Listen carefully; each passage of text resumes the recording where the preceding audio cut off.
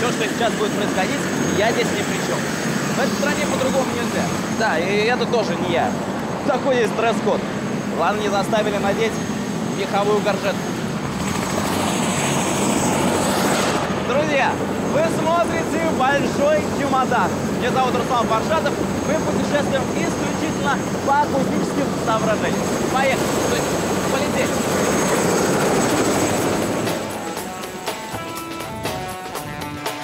Задача небольшой команды Большого Чемодана, оказавшись в чужой стране, найти все ее звуки. Ну или почти все. Находим, записываем и помещаем на акустическую карту мира.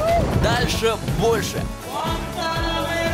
Все найденные планетарные звуки мы перемешиваем между собой и получаем уникальный звуковой трек. Но и это еще не все.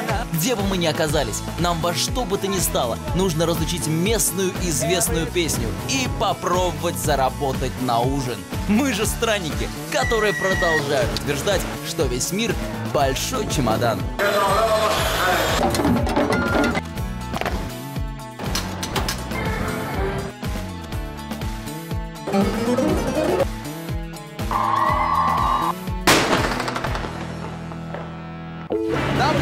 И господа, большой чемодан в Монако. Это такое миниатюрное государство, в котором если крикнешь, то услышит пол страны. Маленькое, миниатюрное. Ну, не хочется называть карликовым. Это крохотное княжество, которое пройти пешком можно за 56 минут. Ну, а влететь вообще за 2 минуты. Очень интересно, как звучат эти два квадратных километра в окружении Лигурийского моря. Зато Монако – самое густонаселенное государство. За всем следит князь Альберт II. Хозяйство небольшое. Один университет, 7 детсадов, одна школа, два лицея, 143 автобусных остановки, 6 храмов, один собор. Очень удобно. Все можно пересчитать по пальцам. Пересчитаем-ка мы звуки. Уже пора.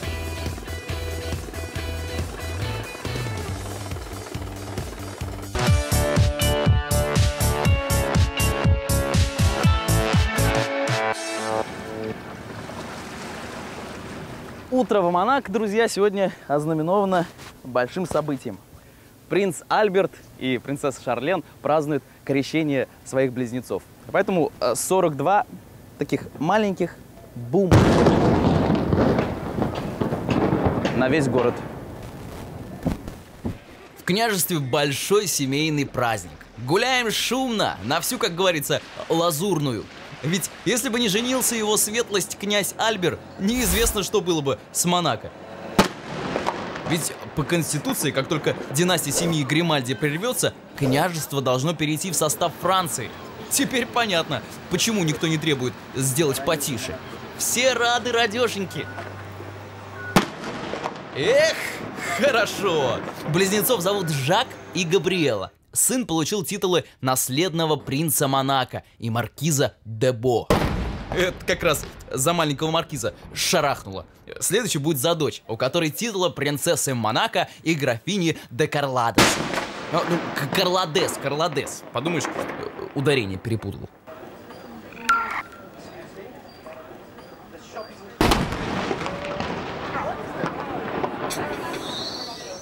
Начало отличное. Не звук, понимаешь, а сказка. На нашей акустической карте мира большие пушечные выстрелы из маленького-прималенького княжества.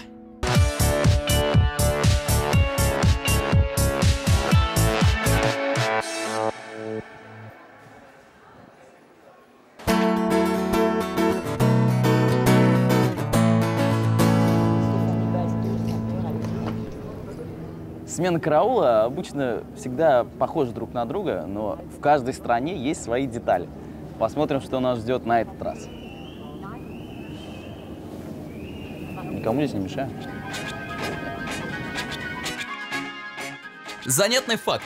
Монако, друзья, единственное государство в мире, где размеры регулярной армии меньше численности военного оркестра. Внимание, под ружьем находится всего 82 человека. Ну даже у этих ребят иногда находится работа.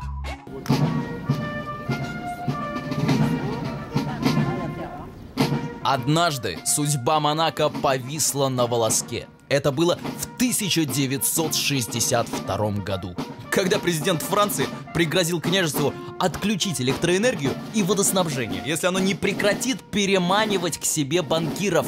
Все 82 гвардейца Королевского дворца были подняты по тревоге. К счастью, войны не случилось. Князь пошел на уступки. Так, стоп. Отмотайте-ка, пожалуйста, назад. Ну-ка, ну-ка, еще раз.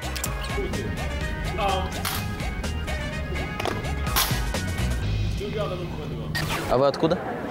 Из Москвы, Вы в первый раз здесь? да. Да? А Вы заметили, что вот как-то странно они хлопают вот так постоянно? Ну, я заметила, что в выдержке у них э, нужно поучиться у наших солдат, мне кажется. Да. Но они какие-то расхлябанные. Простите, пожалуйста. Ну, как... Кажется, что у нас на параде прям гораздо строже это происходит. Да. Ну, вы заметили, что он вот так вот делали? А надо Как, как? как э, в момент крайнего неудовлетворения сложившейся ситуации. А вы бы как сделали? Ну, я теперь тоже так буду делать. Хорош, Да. Хороший... при- Ну, когда что-то не будет получаться, можно вот так вот сделать. Так может у них это другое обозначает. Как знаете, у болгар вот это обозначает да, а вот это нет. Может у них это обозначает жизнь удалась.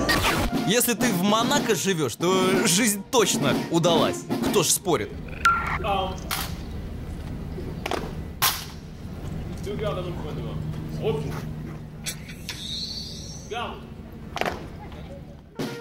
Не будем, пожалуй, углубляться в истинное значение этого жеста. Такая вот она беспощадная к нижней части своего тела государственная армия Монако.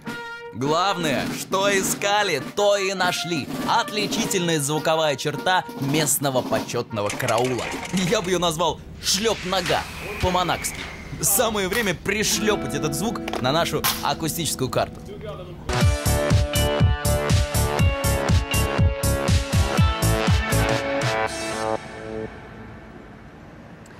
В нашем проекте есть такой эксперимент, где бы не приземлился наш большой чемодан, я обязательно разучиваю местную известную песню и пробую заработать на ужин.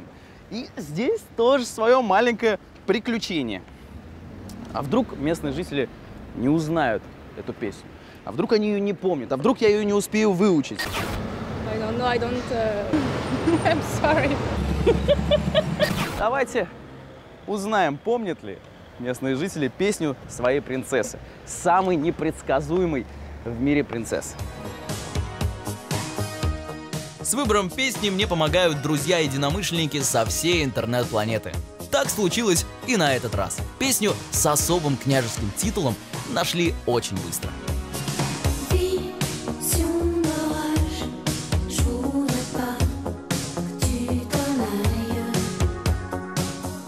Поет Стефани де Монако, родная сестра принца Альбера. В отличие от своей мамы, голливудской киноактрисы Грейс Келли, Стефани решила стать певицей. Грех было не воспользоваться повышенным вниманием к своей персоне, как к принцессе. И у нее все получилось. Ее первая песня «Ураган» имела оглушительный успех. Seul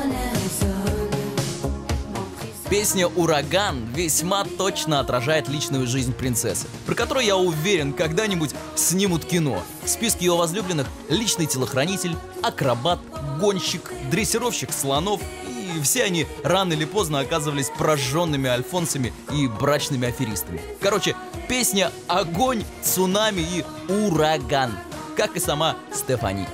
Ouragan qui passait sur moi, l'amour a total.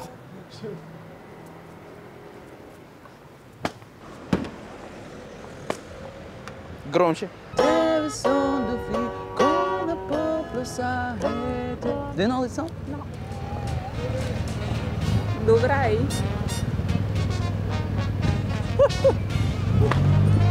А, надо вот так.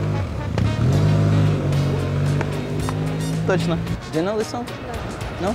song? Ну? А.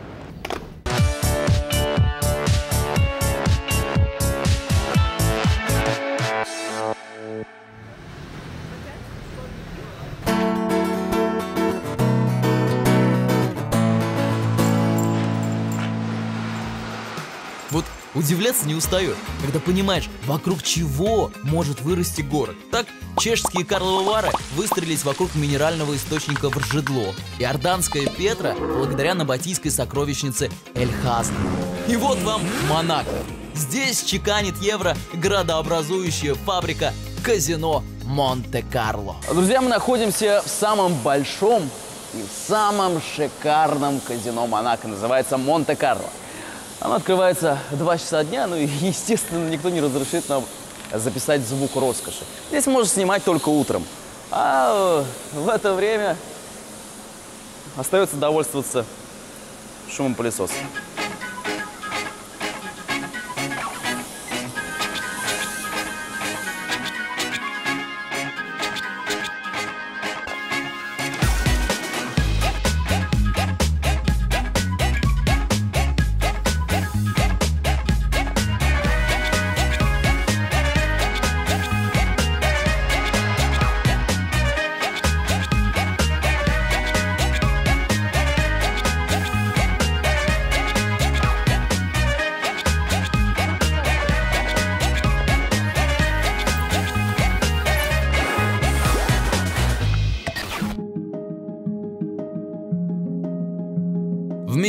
Казино более величественного, чем казино Монте-Карло.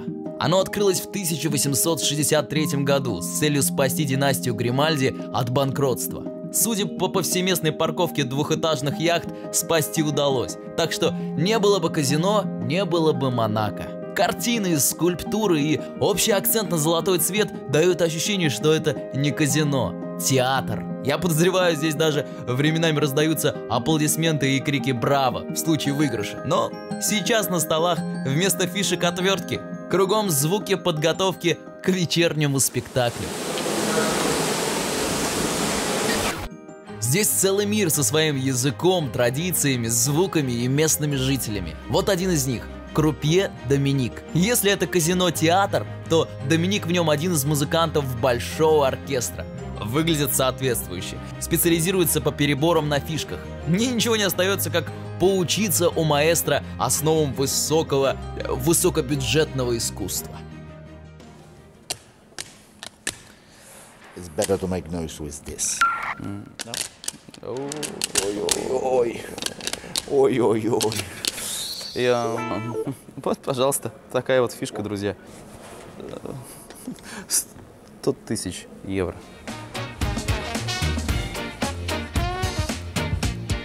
Театр у нас все равно получается плохой. Актер-то из самодеятельности. За первые три года своего существования казино Монте-Карло заработало так много денег, что в княжестве отменили прямое налогообложение и устранили военную службу. С тех пор Монако стала легендой, символом великосветских развлечений, балов, приемов и азартных игр. Я уже говорил, что в княжестве дресс-код существует даже на улицах, а уж сюда, в игорный дом-музей, пускают только особо важных персон. Нет, с утра-то, пожалуйста, заходи кто хочет. And that's right. 35. 35. Ты лузер. Я проиграл. Yeah. I'm sorry. Извини.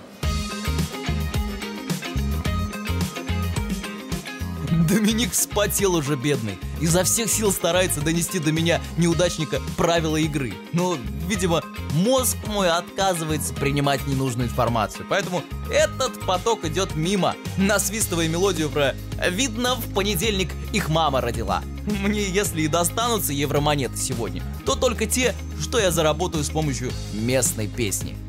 Да, Сложно?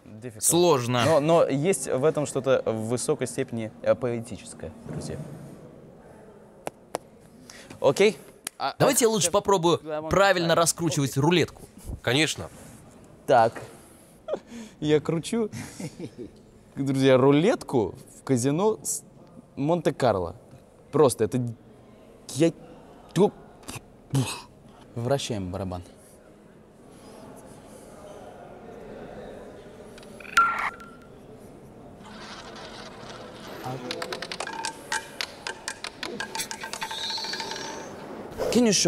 Вы можете показать, как бросать правильно? Аккуратно, медленно, не торопясь.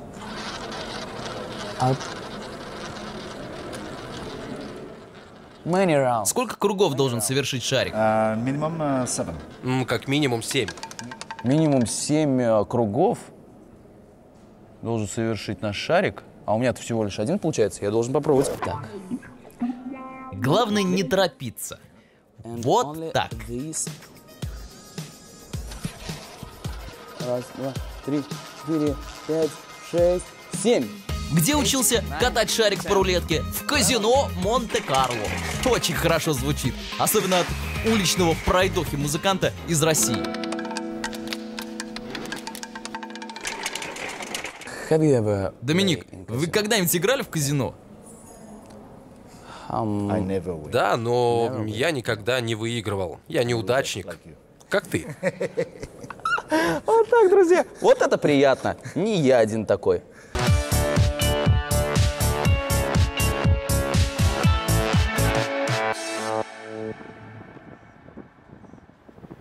Ореза, Феррери, Виаладин, Каран... Стефани. Я серьезно. Стефани.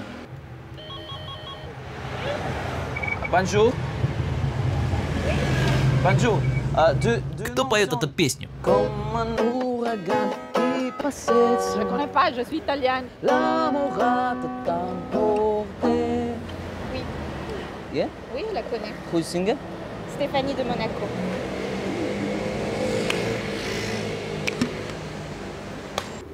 Бан...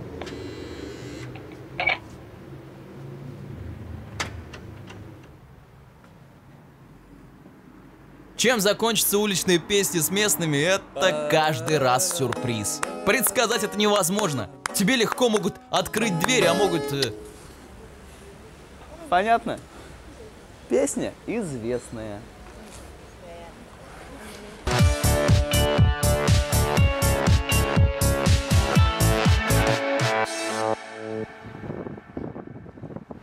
Спускаемся на самый нижний этаж многоярусного государства. Туда, где встречали тех, кто наполнил в свое время казну этого княжеского берега.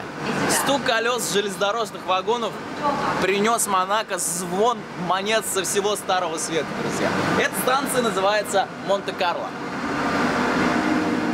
В конце 19 века, чтобы добраться до знаменитого казино, нужна была дорога, и желательно железная, чтобы поскорее. А на то время путь к княжеству требовал настоящего мужества, потому как пролегал он по обрывистой тропе, по которой пройтись могли только мулы. Ну, а какой, скажите, уважающий себя барон, принц, князь, маркиз или плебей-миллиардер сядет на осла? Да и кто же его туда посадит? Он же миллиардер. В общем, нужна железная дорога. Будет, сказал прапрапрадед князя Альбера Чарльз Гримальди. Сказал и сделал. Вагоны по рельсам застучали, колеса рулетки закрутились.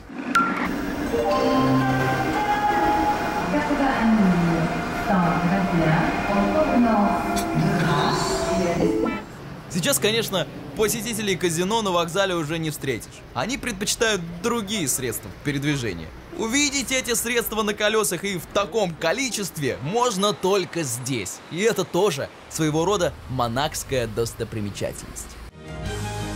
Партнер проекта – отель Meridian Beach Plaza, идеально расположенный в нескольких минутах ходьбы от самых известных туристических достопримечательностей Монако. По праву считается лучшим местом для спокойного отдыха в Монте-Карло. Meridian Beach Plaza – единственный отель в Монте-Карло с собственным частным пляжем.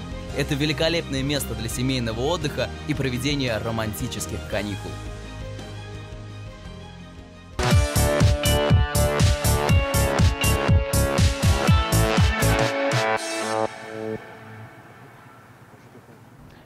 Как звучит шик, блеск и роскошь, это еще нужно разгадать, друзья. А вот как выглядит, Вот так и выглядит. Большой чемодан продолжает свое акустическое путешествие по княжеству Монако. Ну, что-то из звуков роскоши мы уже записали. Номер один – это казино Монте-Карло. Ну, не звук пылесосов, конечно, а щелканье фишек и карточек. Плюс шарик, крутящийся по стенкам рулетки. На очереди еще два звука. Каждый из них оценивается в числах, где 6-8 нулей.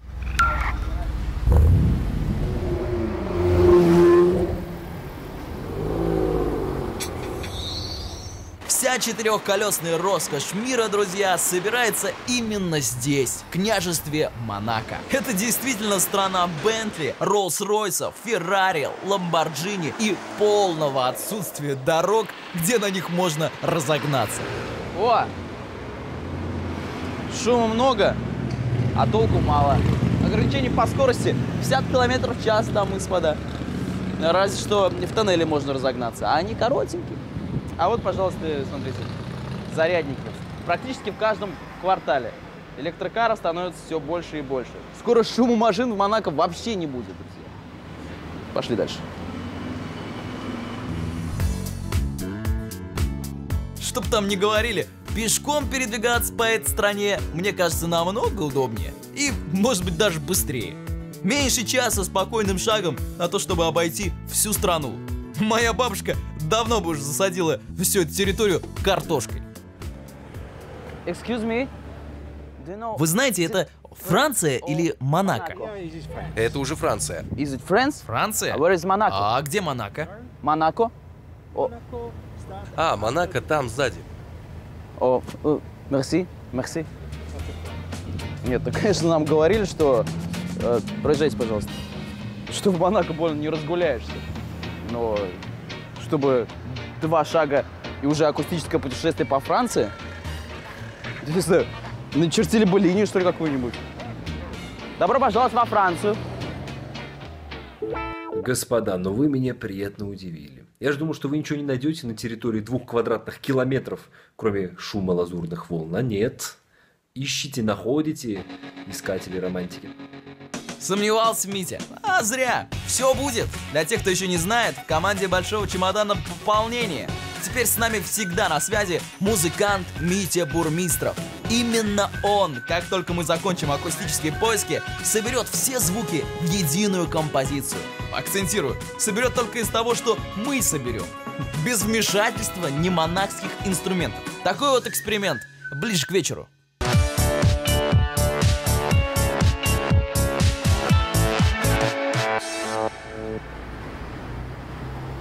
В Монако, где, ну, вы сами видите, друзья, всем живется сладко, мы решили заработать на что-нибудь сладкое.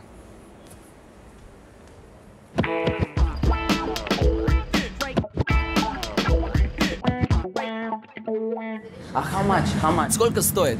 750. Семь с половиной евро. It's uh, cheapest dessert. Это самый дешевый десерт или у вас есть дешевле? We have uh, the, our new Magnum. It's over there. Да, есть дешевле. Шоколадное без э, мороженого внутри. Это будет стоить шесть с половиной евро. Six euro. Окей. Not you have all the ice cream that you want for 3 euros 80. Окей, ребят, значит, э, шесть с половиной евро.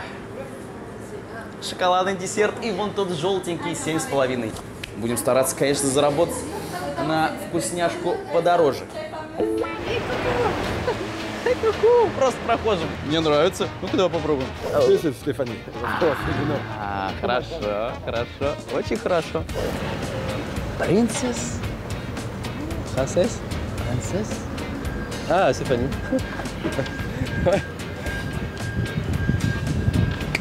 Ну, ну. Эй, ку-ку!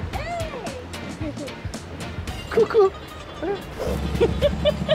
Я из Австралии. А, а, о, so, thank you. Ah C'est comme un ouragan. C'est la chanson de Stéphanie. De Monaco. Ну все, можно успокоиться. Мы сделали все, чтобы монакцы вспомнили песню своей принцессы. Готовы ли они кинуть монеты за французский с акцентом?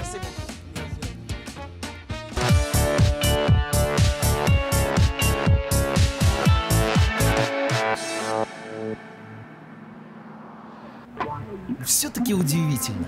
В Монако все изысканно и все по правилам. И дороги, и машины на дорогах, и люди в машинах на дорогах, и деньги у людей в машинах на дорогах. Вот хожу, пою песню и чувствую, как-то неудобно. Прям вот нарушаю я правила хорошего тона. Веду себя, прям сказать, неизысканно. Ну а что делать? Умные люди предложили сходить в кафедральный собор.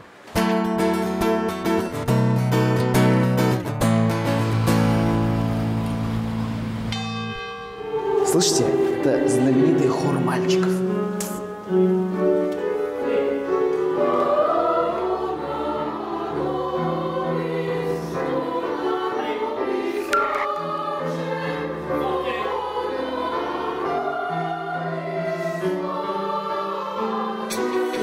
Маленькие послы Монако объездили 35 стран мира. Попасть в число таких хористов-путешественников, конечно, престижно. Отбор здесь королевский. Князь Альбер лично патронирует этот известный на весь мир коллектив. Он делает все для того, чтобы голоса монахских пацанов звучали по всей планете. Вот и мы внесем небольшую лепту, запишем в число слушателей хора маленьких принцев из Монако всех, кто неравнодушен к нашему большому чемодану. И первым будет наш друг Митя Бурмистров, который, как вы помните, в финале программы должен представить музыкальный трек, сплетенный из монахских звуков. В общем, трек практически завершен. Получается такое уже что-то интересное, оформленное. Но мне кажется, что не хватает какого-то специфического, яркого, фирменного звука Монако. Так что давай, ищи, ищи, продолжай. Может, мне кажется, конечно, но тот парень в оранжевом спортивном костюме очень не рад тому, что здесь находится. Наверное, получил двойку в школе, а тут его еще петь заставили.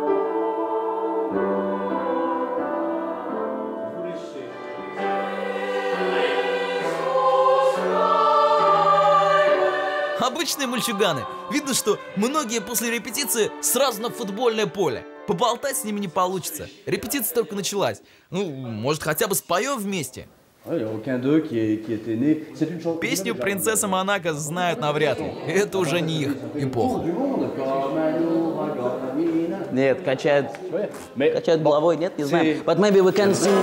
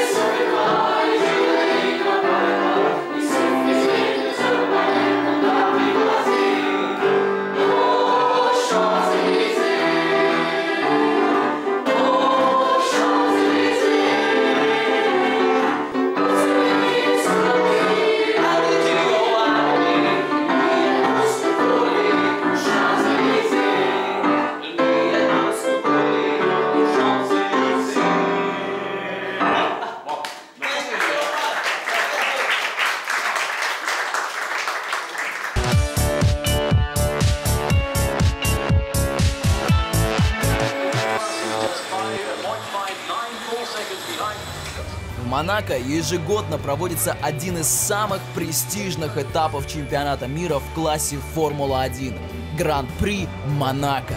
Самое удивительное, что проходит она по улицам города, прямо вдоль жилых домов. Для этого на время проведения гонки устанавливаются оградительные сооружения и трибуны с местами для зрителей. А люки на дорогах крепятся болтами или завариваются, чтобы избежать возможного вылета. Формула-1 это немыслимо высокие скорости, летящие по трассе машины и, главное, рев самых мощных и самых засекреченных в мире моторов. Рев! То, что нам нужно, подумали мы. Но, друзья, есть две новости. Хорошая и, мягко скажем, не очень. Итак, хорошая. Сегодня вместо Формулы-1 здесь рассекают гоночные автомобили так называемой Формулы Е – электромобили, которые призваны совершить революцию в автоспорте. Это абсолютно чистые гонки. Настолько, что, как шутят пилоты, топливо можно пить. Ну, действительно, э, новость хорошая. А теперь новость плохая. Звука, который рев, его нет. Нету его. Главное отличие, друзья, формулы электромобилей заключается в звуке. Сами пилоты говорят, что он больше похож на шум летящего самолета.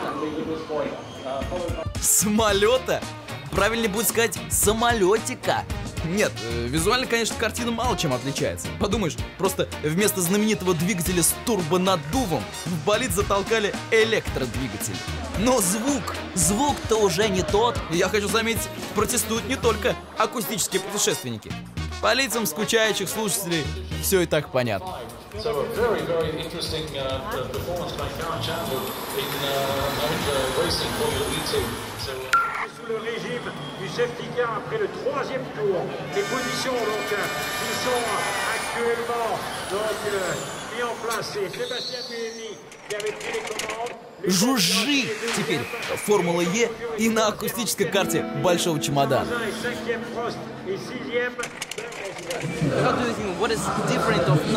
Как вы думаете, есть разница между шумом двигателя Формулы 1 и Формулы Е? Э, да, шум двигателя очень тихий, и люди удивляются и не понимают, что происходит. Разница, конечно, есть, особенно для местных жителей. Не так шумно. Звук хороший, гонщикам нравится. Электродвигатель звучит приятнее.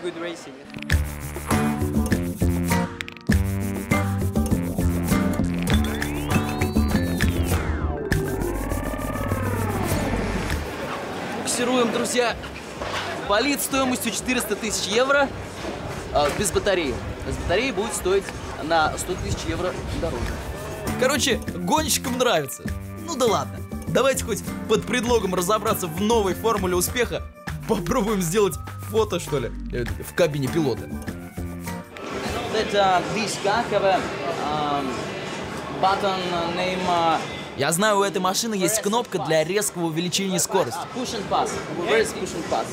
Э, Да, и это одно из отличий Формулы Е. При ее нажатии резко увеличивается мощность двигателя. И пилот может воспользоваться этой кнопкой только один раз за гонку, да? Да, конечно, только один раз. Очень круто. А можно сесть и сделать фото? Later. Later, when? When? When the buffer mates close. Now it's Позже, позже подойди. Ну, вы понимаете. Позже. Это э, вежливое «Из чего захотел?» Иди отсюда давай. Ну что, э, в настоящем болиде не удалось посидеть? Посижи хоть памятники Формуле 1. Так. А. Пожалуйста, фотографию. Ужасно здесь. Неуютно, сыро и какой-то... Ребята, это мусорка. Это мусорка, ребята. Это мусорка.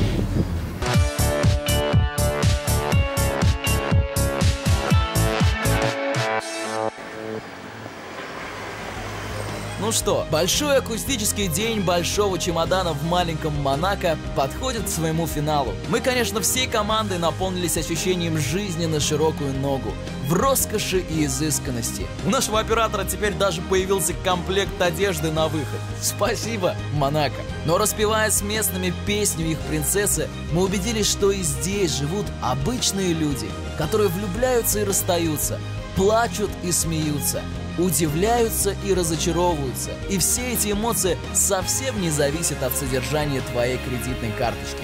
Но за желанием самому разбогатеть и погонять на собственном Феррари стоит приехать сюда, в Монако.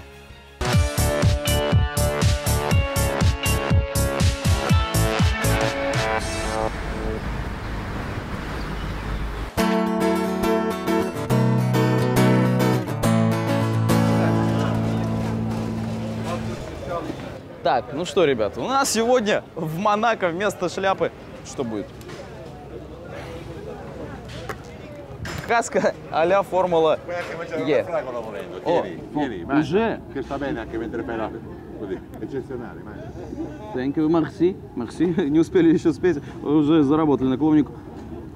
Ну вот. Fantastica, eh? Mmm, delicious. Мгм.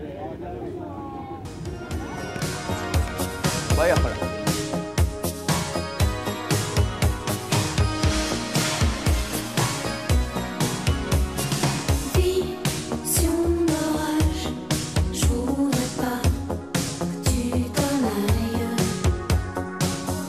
La passion comme l'ombre, ombre, fallait que j'y succombe.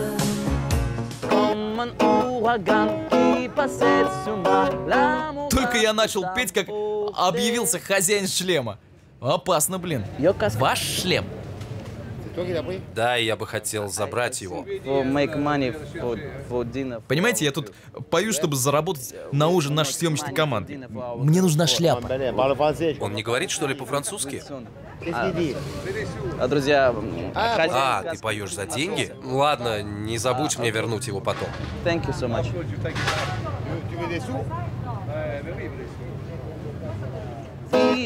Sous d'orage, joue des pas, puis ton aïe. La poche comme un je Это я бросил, запомни. Сон. Дал каску, еще монету бросил. Первая монета от хозяина шлема есть. Друзья, позвольте прерваться. Мне тут сигнализируют, что Митя Бурмистров готов. То есть мы сейчас услышим трек, который вместит в себя все собранные звуки сегодня. А к песне вернемся позже. Руслан, звуки Монако оказались настолько самодостаточные, что я просто добавил немножечко саббаса к звуку выстрела пушки, и получилось это. Готовы послушать? Готовы? Thank you.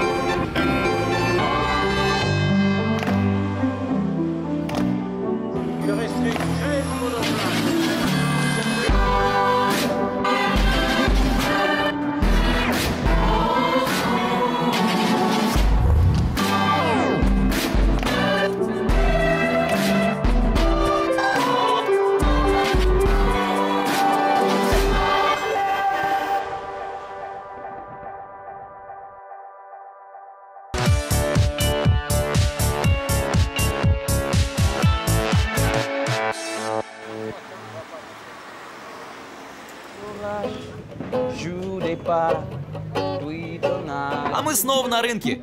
Мы тут э, песню поем. Хозяин шлема снова подходил, кстати. Э, К одной монете добавил апельсин.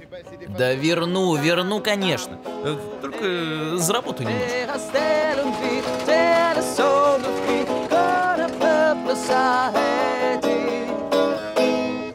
Все, друзья, меняем локацию. Здесь брать больше нечего. Все кошельки попрятали поглубже. Свои французские кармашки.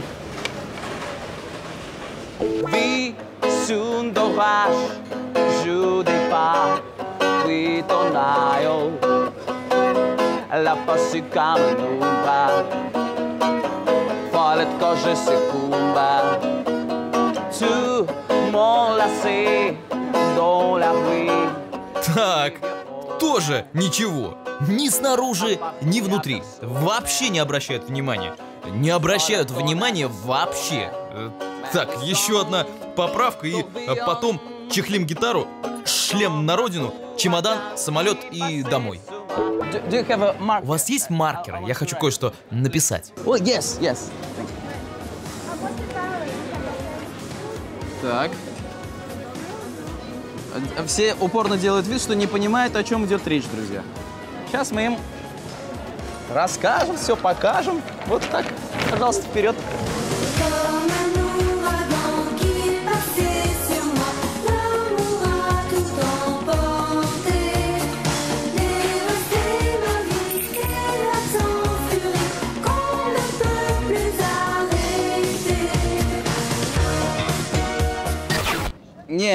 Не, получилось, друзья. Всего 1 евро, апельсин и нектарин.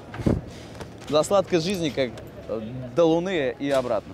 Путешествуйте необычно и помните, весь мир – большой чемодан.